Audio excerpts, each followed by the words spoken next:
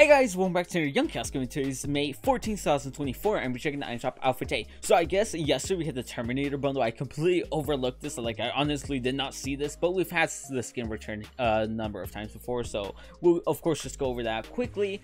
But going to the shop day, we do have a quite a bit of some Marvel items returning. I do see another one of the FNCS bundles returning, and yeah, seems like that's it. Doesn't look like there's anything new, and yeah, I'm scrolling down here, nothing new. So let's just go up here as this seems to be the main highlight and that is the FNCS Global Championship 2023 bundle. I originally thought these skins were um, going to be like exclusive so I bought them and it came to realize that they returned like 40 different times I want to say.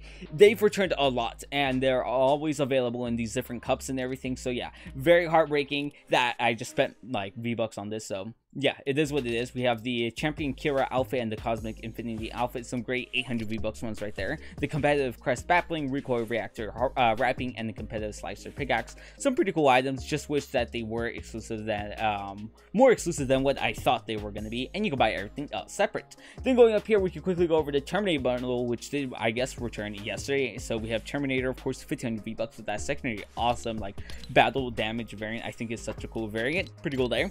And we also have the magnetic poly alloy harvesting tools and then the low truck surfer emote love this one. Reminds me of that one uh, season or i guess event when Peely came in with the truck.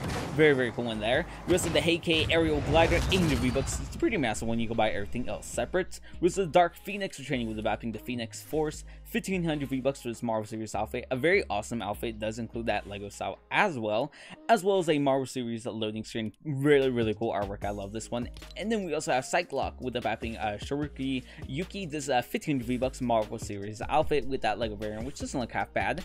Have Psi-Blade Retaining, love this harvesting tool, 1200 V-Bucks, it's a great one. Have Psi-Rider, a Marvel Series Glider, 1200 V-Bucks, kind of expensive. We do have this uh, Suit Surfer Glider, love this glider, this um card glider is such a cool one. It's a great one. And we also have the Blackbird, a Marvel Series glider, 800 V-Bucks. Not bad right there. It's kind of massive like most of these Marvel gliders, but it isn't half bad. We also the Rogue and Gambit bundle. Love this bundle. It's a total of 7 items for 2100 V-Bucks. With Gambit with the Batman Kinetic cards, 1500 V-Bucks. This skin does include that detailed Lego style. And we also have Rogue with the Batman Xavier School for Gifted Youngsters. Yeah, say that five times. That is a long back bling name. It's a 1500 V-Bucks outfit. Pretty cool one right there with that Lego variant as well. And then for buying the bundle, you also get the Rogue and Gambit loading screen. It's a really nice artwork and you can buy everything else separate. We also bow and the Hollow X axe harvesting tools. Love this harvesting tool. LeBeau's uh, bow, I hope I'm pronouncing that correctly, but this is such a cool bow staff harvesting tool. Love this one. Used to be one of my main ones before I just switched it, but yeah, so a pretty cool one. And that seems to be it for today, so not a bad iron shop. Lots of collabs training. Hope you guys enjoyed this video. Make sure to subscribe if you guys are new. Just like and hit that bell. Bye.